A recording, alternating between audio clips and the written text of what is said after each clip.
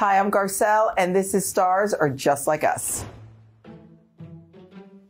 The last thing I waited in line for was honey baked ham at Thanksgiving. I waited two hours. It's the best ham on the planet. And I'm not being paid by them. Uh, the one errand I keep putting off is going to UPS to return things. The last person I took a selfie with that was famous was Niecy Nash. I love her. I got a driving ticket where they send you a picture to show you the receipt that it was you. My Uber rating is, I believe, 4.89. I don't know what I did wrong that I didn't get the five.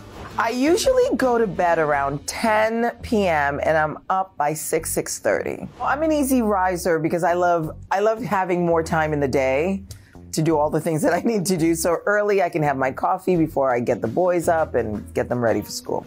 Multitasking. I'm trying to break multitasking. I want to be able to turn on a TV show that I want to watch and actually watch it, not have my phone, not be distracted. I'm trying to not multitask as much. I am obsessed with the Ciara song, This Is How We Roll. My go to DoorDash order will be ramen. There's a place called Silver Lake by my house that I get a lot of orders from.